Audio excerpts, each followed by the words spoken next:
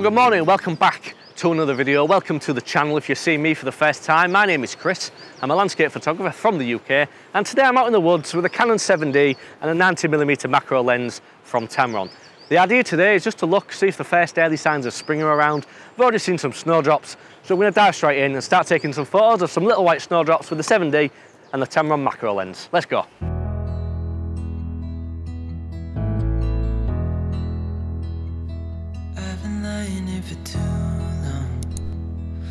Don't know what else to do.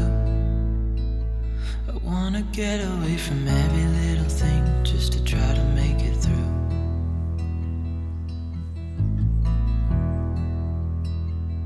I've been thinking about my options, every detail in my head. But it doesn't really matter, nothing matters, so I cry instead.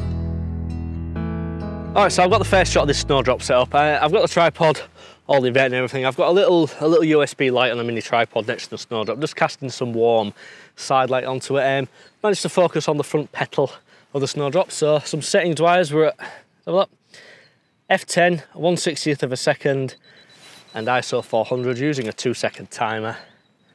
And there is the first image, so I'll throw that on the screen for you to see, and we'll go find what else to take with uh, my first experience of a proper macro lens. And initial impressions are, I quite like it.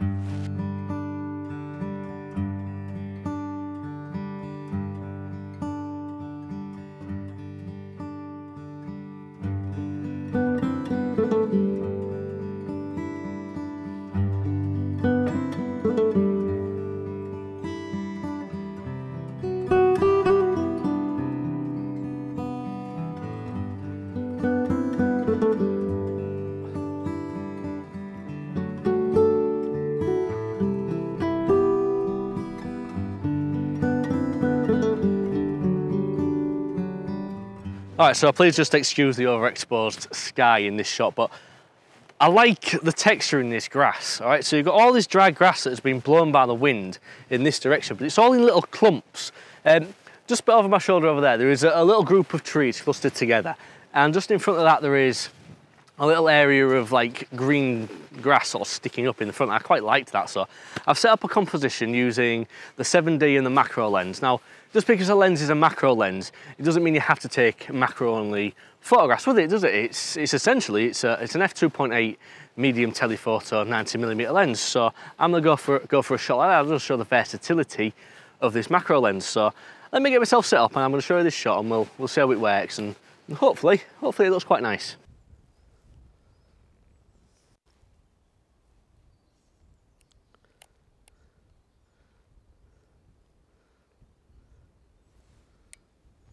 All right, so I've got this photograph composed now, um, and just in time to take the photograph, the sun's come out and it's creating some nice little glistening highlights on the grass in front of me, which I quite like. Um, I've decided to shoot this vertically and I'm also using a relatively fast aperture of f3.5. Um, it's giving us a nice fast shutter speed of what, a two thousandth of a second at ISO 400. I'm still cranking the ISO up, it is a bit windy and just wanna, just wanna eliminate any sort of wind blare or anything like that. So let's go ahead, we're gonna take this photograph. So f3.5, ISO 400, two thousandth of a second, and there's that photograph taken. So I'll throw that on the screen for you to see, and we'll go find the next one from, uh, from today's video. It's quite pleasant now the sun's come out, I'll be honest. It was a bit grey and a bit wet and a bit windy earlier on, so I'm feeling good now.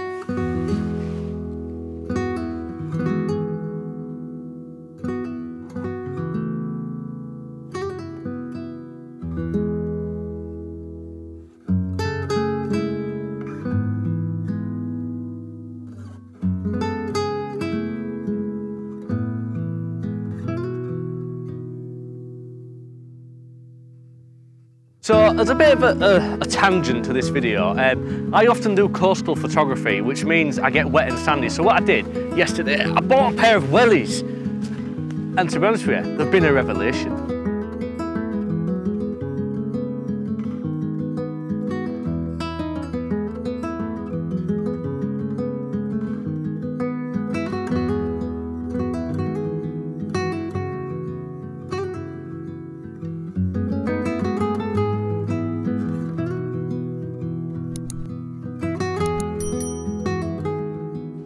So I just want to take a minute and just talk about my experience using this macro lens. Today, this is the first time I've actually been out and used a dedicated macro lens. I've, I've used lenses with extension tubes and kind of faked minimum focus distance, but you don't get the true one-to-one -one magnification really doing that. So it's generally been a nice change of pace. I've not had to worry too much about natural light and, and sunrises and colour and skies and things like that because I have an LED light with me, so I've got the capability to throw artificial light in there where needed. And I've had to change my mindset a little bit away from landscape photography and think more about the macro side of it. And it's, while it's been a challenge, I've actually quite enjoyed using this thing. So I'm genuinely considering picking one of these up. Like I said at the start of the video, this isn't my lens, it's not Dave's lens, it's actually Dave's wife's lens. So thank you, Leanne, for lending me this lens to use today. It's been a, it's been an eye-opener really. I'm, I'm genuinely considering getting one for myself. And I think we might be leaning towards some macro photography on this channel now. Um, but yeah, it's just been a nice change of pace without having to rely too much on the conditions and just slow down and and be able to think things through without having to worry about things changing too much. I mean, it's a bit windy today. I don't know, you may have noticed there may be some wind noise. There's a lot of blustery, blustery stuff around, which hasn't, hasn't made some of the photographs maybe ideal. So we're going to head off into a bank of trees. The bank of trees off Good Samaritan side, going to head in there, maybe a little bit more shelter from the wind and there may be some more sort of static macro shots to take, not things blowing around on leaves and, and branches and things like that.